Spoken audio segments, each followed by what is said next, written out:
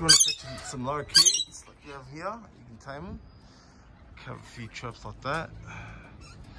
The lorikeet just sits on that, goes up